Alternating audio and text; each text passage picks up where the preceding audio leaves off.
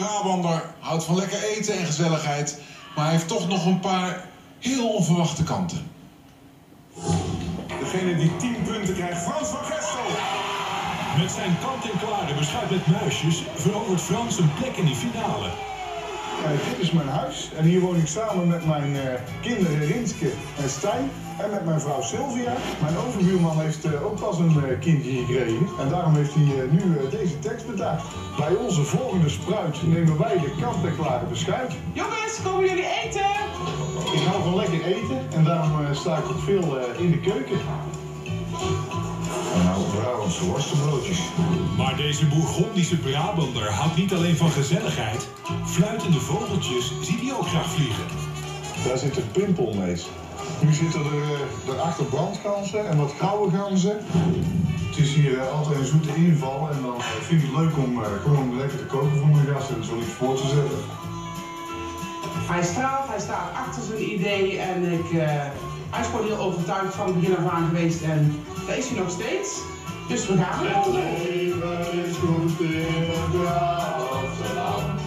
Het land waar de wind heeft gestaan. Hey, en wat heeft papa? Het beste idee van Nederland. Yay! Goedenavond, beste kijkers. Zoals ik u vorige week heb beloofd, hebben we deze week een iets langere uitzending. U kunt vanavond gaan kijken naar het maandjournaal voor de maand november. Vanuit het keukenraam met passende novemberbeelden. En we hebben weer diverse items. Onder andere de nieuwe inwoners uit de gemeente Haren worden welkom geheten. Jan Leijten met onderwerpen vanuit de politiek. En de ontknoping van het beste idee van Nederland. Voor nu wens ik u weer heel veel kijkplezier. Tot zo!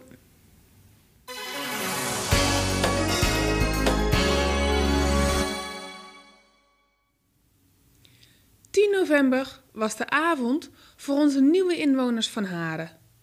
Op het gemeentehuis werden zij welkom geheten... ...met een presentatie over onze omgeving en faciliteiten. nieuwe bestemming aan te geven. En eh, daar ziet u het En burgemeester Ronnes was gastheer. Welkom in de gemeente Haren. De gemeente Haren bestaat uit vier dorpen, zoals u ongetwijfeld weet. Haren, Es, Biezenmortel en Houvoort. Het aantal inwoners van onze gemeente is eh, 13.627 op 1 januari jongstleden. Of dat er vandaag nog is, dat zal ongetwijfeld niet zo zijn. In Biezenmortel wonen er 1370, zoals u ziet. In Es ruim 2100, in Haren 54 en in Helvoort 4600. Eh, is het prettig wonen, werken, verkeren in het dorp en waar leven de mensen? Heel belangrijk in onze gemeente de boomteelt, waarvan u hier eh, acties ziet. En eh, de boeren zijn op allerlei manieren bezig om ook hun inkomen te verbeteren door middel van nevenactiviteiten van de politie. Hij heeft kantoor in het gemeentehuis.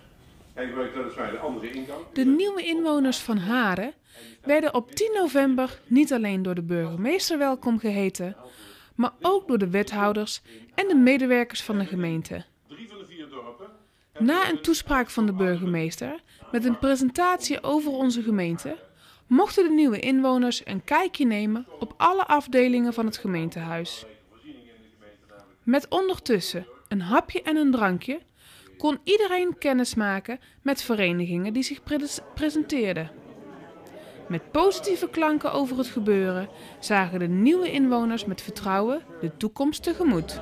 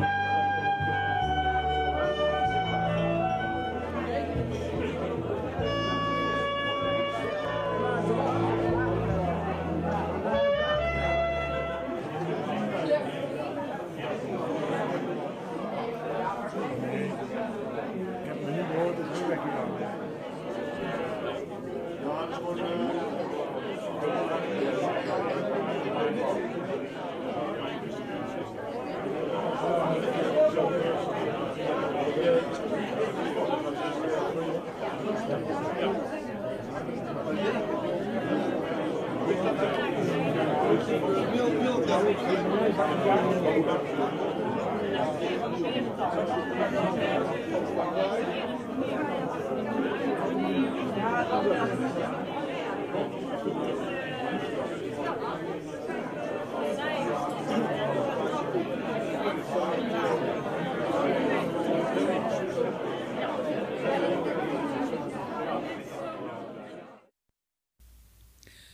11e van de 11e is weer geweest. Dat betekent dat ook de prinsenverkiezingen achter de rug zijn. Helaas heeft Biezenmortel dit jaar geen nieuwe prins. Haren en Helvoort wel. U gaat nu kijken naar beelden uit de verkiezingen uit Haren. Alles uiterlijk, maar ook op schrift, op vele manieren, waaronder door ons welbekende logo. Na 40 jaar wou wij toch ons logo een beetje bij de tijd houden. Maar ons eigen toch een beetje bij onze tradities houden. Want carnaval is toch een beetje traditie.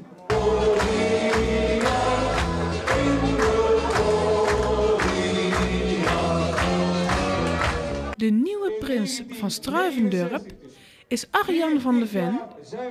En Arjan zal tijdens de komende carnaval worden genoemd als prins Werner de 18e. Zo'n zes jaar is Van de Ven nu al lid van de Struivenwerners. Het is voor hem dan ook een hele eer dat hij is gekozen als prins. Maar ik mag het eh, presenteren en ik moest dit ergens op een kruk leggen.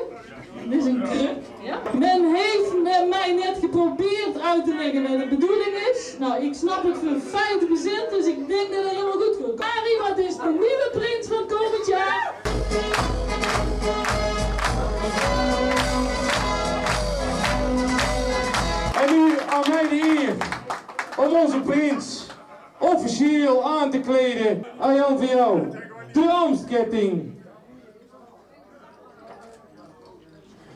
Een cape.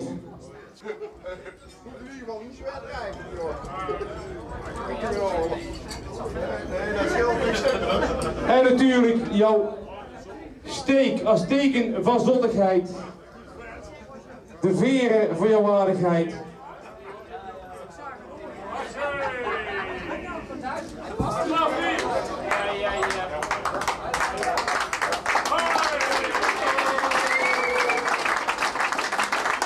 En nu het allerminste natuurlijk. Het teken van jouw macht, de schepter. En dan geef ik u graag het woord aan Prins Werner de 18e. Goedenavond, dames en heren, struiven en en alle genodigden. Eh, ik moet zeggen, het is me waar om eh, komend jaar prins te mogen zijn en te mogen regeren over, eh, over Haren, over het struivelen. Maar ik heb daar ook twee adjudanten eh, bij aan mogen kiezen. Pieter de Pauw!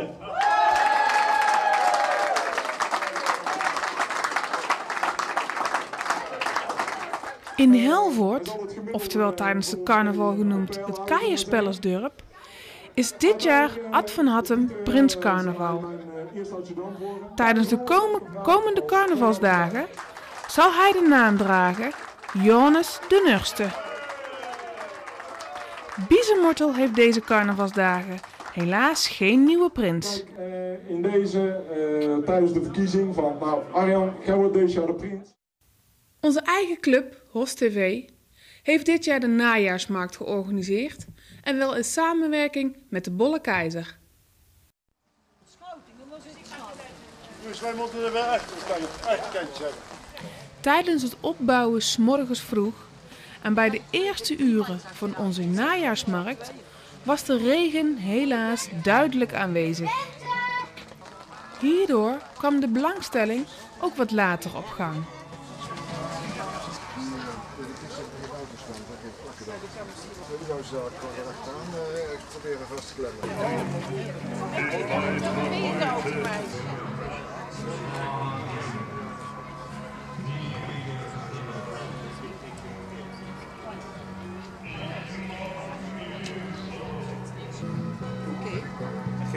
Minder warmte af ook als een, eh, als een halve Greenland. Deze zijn ook wel warm, maar die...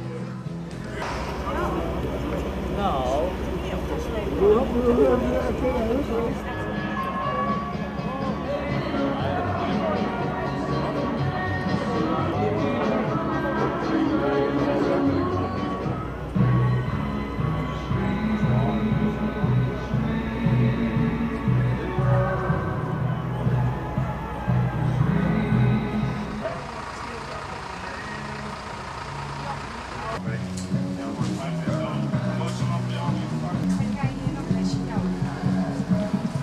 was op deze dag voor iedereen wat te zien. De deuren van onze studio stonden weer open. En ook ieder jaar worden wij weer verrast met belangstellenden. Ook was er een speelgoedmarkt en er waren diverse optredens. Onder andere een kinderkoor uit Eindhoven genaamd De Zingende Bengels.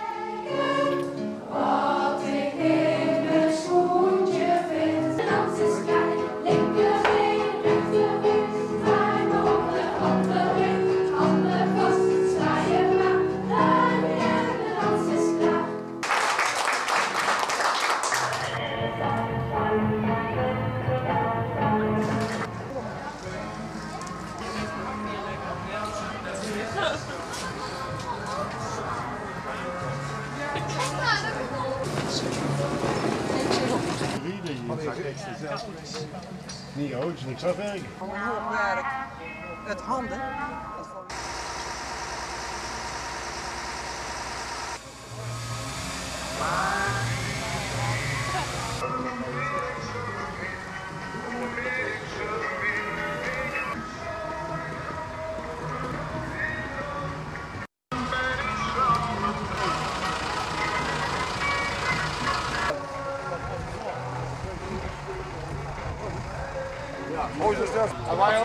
Eén keer. We.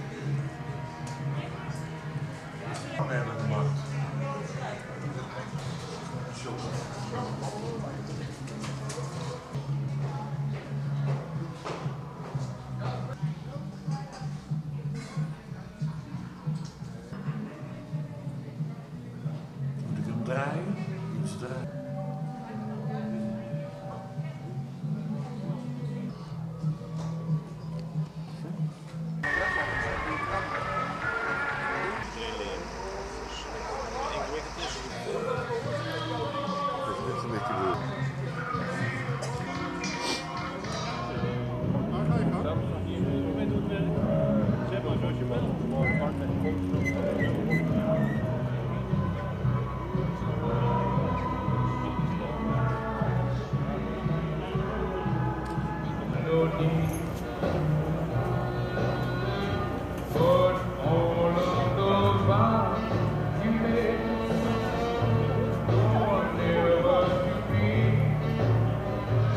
Niks doen, goed luisteren.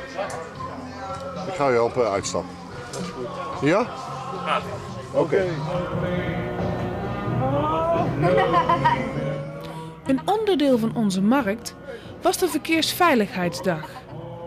Hier kon men voor informatie terecht bij vele Kin vakmensen. naar de borst. Kin naar de borst. Ja. Nee, de hoofd. Kijk, Zo. Zo. Ja, heel hard trappen. Kom op. Ja, druk hem maar in. Die sluiting indrukken. Sluiting indrukken. Duw er gewoon allemaal uit. Duw er gewoon allemaal uit. Kom op.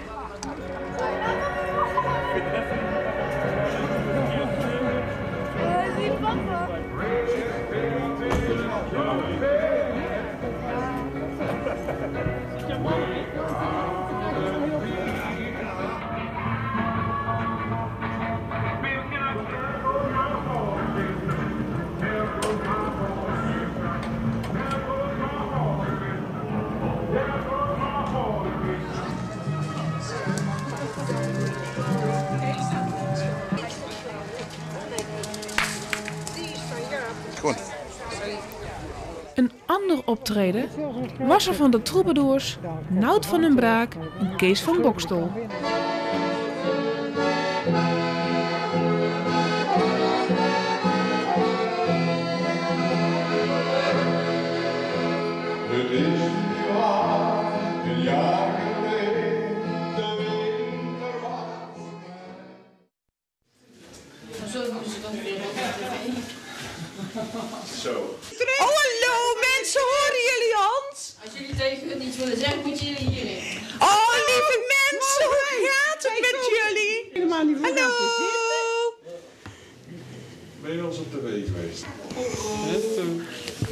Nou, kom.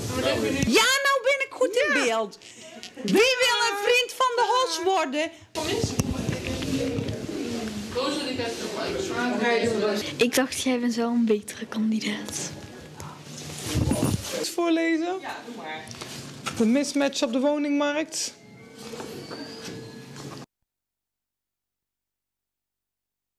Ja, die. Moest je iemand redden? En erin? Ja, het was zeg maar een soort van pop. Ja. Pop, toch wel. En hoe heette die ook alweer? Ja, er stond, nee, er stond op Loïc of zoiets. Nou, wij hopen jullie daar allemaal te zien. Nou, nog een fijne dag. Fijne dag. Dag, fijne dag.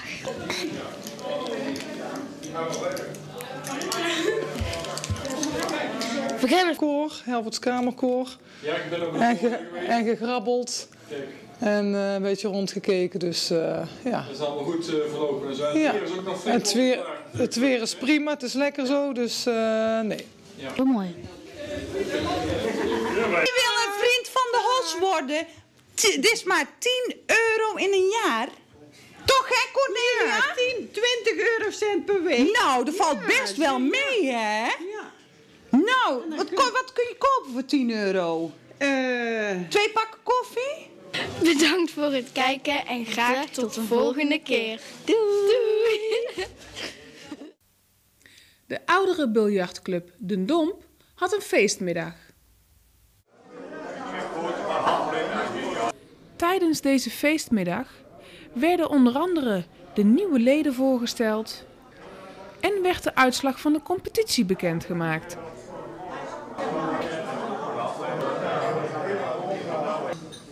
Beste collega's, bejachters, partners, van harte welkom op deze feestmiddag. Heeft het bestuur nieuwe leden aangetrokken. En dat zijn Arnold Wessers. Kees van Iersel, die komt wat later.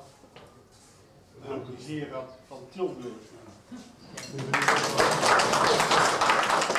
De prijsuitreiking van de afgelopen competitie 2008-2009.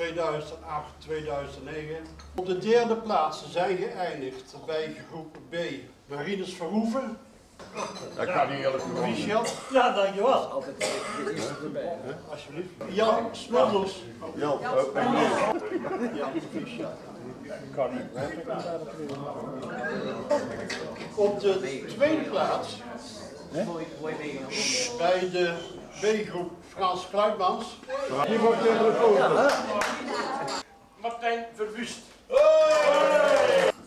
Martijn Proficiat. Dankjewel. De eerste prijs. Dat is een vergissing. Dat was de voorzitter. Dankjewel. De beker. Van Hulp Clubkampioenschap, zo gewonnen door Johan Beliefd.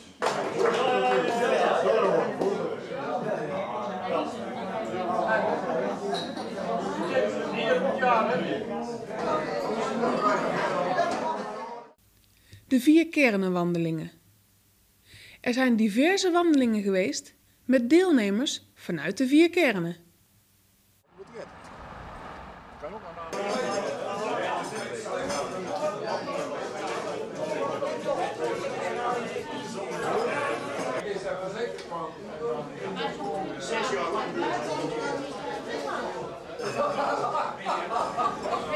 Vier oudere verenigingen uit onze gemeente gaan elke donderdag wandelen. Men loopt op eigen tempo en een afstand van 7 of 10 kilometer. Elke donderdag lopen ze in een andere kern. De routebeschrijving krijgt elke deelnemer mee in zijn rugzak. Natuurliefhebbers kunnen volop genieten, want natuur is er genoeg in onze mooie vertrouwde omgeving.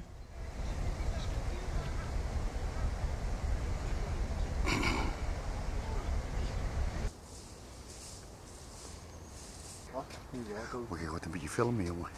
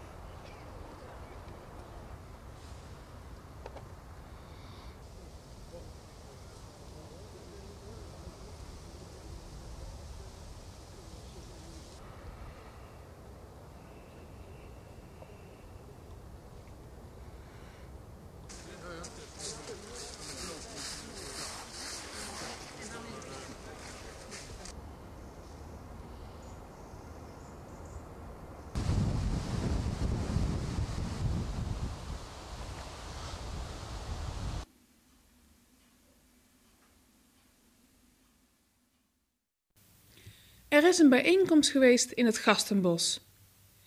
Hier werd men geïnformeerd over het project Den Hoek.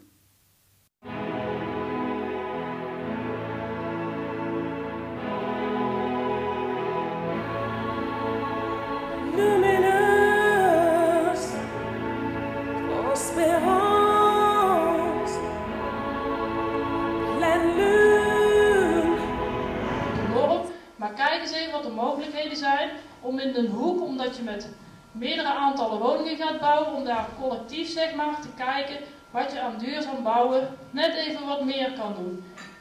Deze poster overheersen wel en groene en rode stickers, maar die rode stickers hadden weer vooral betrekking op de architectuur die niet zo wenselijk was. Maar het principe, een duurzame ontwikkeling, werd echt wel gewaardeerd. En dan heb ik even een overzichtje van wat zijn nou voor mij, hè, voor ons, de belangrijkste geluiden geweest van die avond. Blijf bij het dorpse karakter. Behoud het eigen karakter en de eigen identiteit.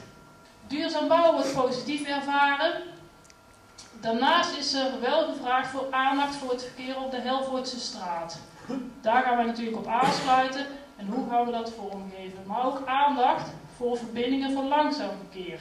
Verbindingen zowel naar het dorp om gebruik te kunnen maken op een goede manier van de voorziening in het dorp, maar ook langzaam verkeerverbindingen naar het buitengebied om juist de recreatieve routes te sterken. En er waren verder nog diverse vragen over het woningbouwprogramma. Dat zijn natuurlijk de hoofdpunten. Er zijn daarnaast ook nog allerlei andere punten genoemd. Maar ik hoop dat ik hier niet heel essentiële dingen over het hoofd heb gezien. Dus een woningtype wat zich eigenlijk uit water leent om een soort van patio te maken, geschikt voor senioren. Dus daar zitten we nu in deze vorm aan te denken. De informatieavond over het nieuw ontwikkelingsplan Den Hoek bracht vele belangstellenden naar Gastenbos. Het gaat om zo'n 150 woningen. Met een verdeling van starterswoningen, half vrijstaande woningen en vrijstaande woningen. Deze bijeenkomst was een vervolg op de bijeenkomst van 6 juli jongstleden. De vele vragen die er nog steeds zijn, wil de gemeente opgelost hebben. Vragen zoals het blijven bestaan van het dorpse karakter en de identiteit. Wat de toekomst van een hoek ook mogen brengen, wij houden u op de hoogte. Belangrijk voor de levensvatbaarheid van de voorzieningen, juist de toevoeging van nieuwe woningen. Dus we gaan hier niet opnieuw een nieuw centrum creëren. Dat dus, dus de overgang van deze zijde naar de zuidzijde van het spoor is nodig. Vooralsnog gaan we ervan uit dat we de bestaande overgangen kunnen gebruiken. Deze sowieso en deze eventueel voor het langzaam verkeer. De nee, dat snap ik, maar een tunnel, ik weet niet of u de impact kent van een tunnel. Als een tunnel, als je naar beneden moet rijden, onder een spoorweg door en weer omhoog, en de breedte die dat inhoudt, dan betekent dat we wellicht hier ergens moeten beginnen, naar beneden rijden en hier weer omhoog komen en dat deze woningen kunnen blijven staan. Ik vraag het me af. De ruimtelijke impact van een tunnel moet u zich niet in vergissen. Dus vooralsnog hebben wij dat niet aan de orde gesteld. Wat de impact van de ongeluk moet je ook niet uitgaan. Daar heeft hij inderdaad gelijk in, maar dat zit ook deels in, in de beveiliging, zeg maar, wat je creëert op zo'n spoorwegovergang. Ja, die afspraak is definitief. Die is contractueel vastgelegd. Hebben een overeenkomst. Voor dit gebied, jazeker. Dat was een van de voorwaarden. Naast dat wij 1,7 miljoen in natuurontwikkeling moeten stoppen. Vanuit de opbrengst van dit gebied hebben we toe moeten zeggen dat die 20, eh, minimaal 20 ruimte voor ruimtewoningen gerealiseerd worden. Dat heeft, eh, het heeft ook te maken met eh, de realisatie of de herinrichting van het Helverse Broek als compensatie. eh, waarbij twee veehouderijen verplaatst zullen worden. En zeg maar het weer terug aan de natuur gegeven gaat worden. En voor die verplaatsing en voor de herinrichting stelt de gemeente dus geld uit dit pandgebied ter beschikking. En daarnaast hebben, zijn we overeengekomen in 2008, februari 2008, is die overeenkomst getekend tussen de provincie en eh, de gemeente om hier die ruimte voor ruimtewoningen te situeren. Ja. En dat heeft ook planologisch, of eigenlijk stedenbouwkundig, als, eh, als effect dat je ook een redelijk verdunde rand krijgt. Want die woningen worden bij voorkeur aan de rand gezet, zodat je een, een wat transparantere overgang hebt tussen het, eh, tussen het wijk gedeelte en het ruimte voor ruimte gedeelte en zeg maar de buitenruimte. En dat geeft een veel vloeiender overgang naar het buitengebied. En eigenlijk zegt de provincie is dat ook meteen de rand, eh, de uiterste rand waar dus gebouwd kan worden. Daarna kan daar dus niet meer gebouwd worden. En om u een beeld te geven van wat voor woningen zijn er dan, wil ik even eh korte toelichting geven op het woningbouwprogramma vanuit het concept Woonvisie gemeente Haren. Die is recent in de inspraak geweest, eh, een aantal weken. Zoals ik al zei, is de gemeente Haren bezig met het actualiseren van het woningbouwbeleid. Om weer op basis van eh, onderzoek te kijken, wat is de vraag binnen alle verschillende kernen van de gemeente Haren, dus van de kern Helvoort. Wat is de vraag aan woningen en wat is het aanbod aan woningen? En wat is het verschil daarin en hoe kunnen we dat op een goede manier op elkaar afstemmen? Vraag en aanbod zo optimaal mogelijk op elkaar afstemmen. Er is sprake van een dalend inwoneraantal op dit moment bij ongewijzigd beleid. Als de gemeente niet ingrijpt en niet de eh, ontwikkelingslocaties benut voor de juiste woningtypes, gaat die dalende tendens eh, zet zich nog verder voor. Er komt omdat er een grote demografische scheef, scheefgroei is. Sorry. Ehm, door een sterke vergrijzing. Mensen die de kernen wonen, blijven in de kernen wonen, worden steeds ouder. Uh, je moet dit ook niet vergeten. Wat we al aangaven, we hebben die modellen, die modellen ontwikkelen zich nog. Uh, we gaan plussen en minnen. Het is een indicatie van het aantal woningen, maar als er links en rechts uh, plus of min een aantal minder zijn uiteindelijk, moet u mij daar alsjeblieft niet op afrekenen. Maar het geeft wel een beeld wat het idee is uh, waar we naartoe willen in het plangebied. Het gaat om 40 woningen voor starters.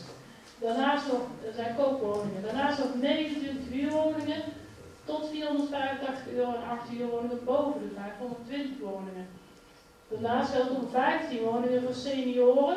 Ja, starters, afgezette kopers, afhuur. Die 40 zijn kopers. Nee, nee, die 15 senioren. Dat is eigenlijk niet nader aangegeven. Dus dat, uh, volgens mij, we moeten kopen. Ja, dan koopwoningen. Um, 38 koopwoningen voor doorstromers. Het doel van die bouwen voor die doorstromers is dat die dus een woning, een bestaande woning in de kern achterlaten, waar dan weer een starter in kan. Dus op die manier ook weer ruimte creëert uh, op de woningmarkt. En daarnaast gaat het dus om 20 woningen ruimte voor ruimte.